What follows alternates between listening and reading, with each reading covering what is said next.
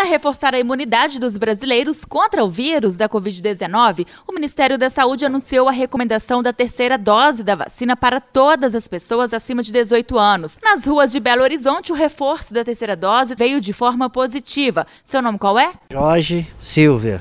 53 anos. Para nós é muito importante, né, para prevenir com essa doença, né? Que eu mesmo fui quase entubado, né, quase morri. Morreu meu sobrinho de 29 anos, né?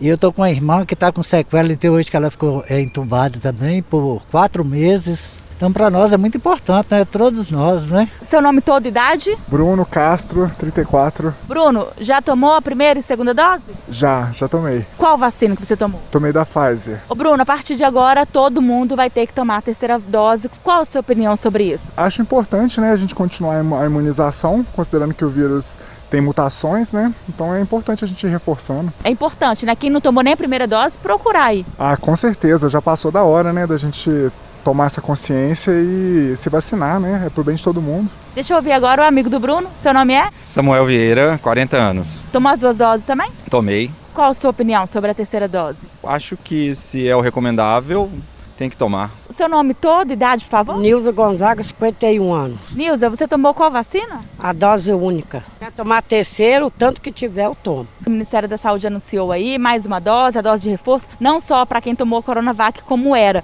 Então, para a senhora é importante? Para mim é muito importante, não só para mim, para todos tomarem também, né? É importante demais não deixar de vacinar. Carlos Starling é infectologista e membro do Comitê de Enfrentamento à Covid da Prefeitura de Belo Horizonte. Ele avalia como positiva a terceira dose na população e orienta que os mais jovens que ainda não tomaram a vacina se imunizem para que seja possível controlar a doença. A terceira dose ela é fundamental na medida que o tempo vai passando e a imunidade das pessoas vai caindo progressivamente. Portanto, depois de seis meses, é recomendável que essa terceira dose seja feita, principalmente em pacientes mais idosos, pacientes imunossuprimidos. Essa população já vem sendo vacinada e essa vacinação deve prosseguir nas outras faixas etárias. Agora, é importantíssimo que as pessoas de 20 a 30 anos tomem a segunda dose, uma vez que essa é uma população que tem uma, mobilidade social muito grande, frequenta escolas, frequenta eventos sociais com muito mais frequência,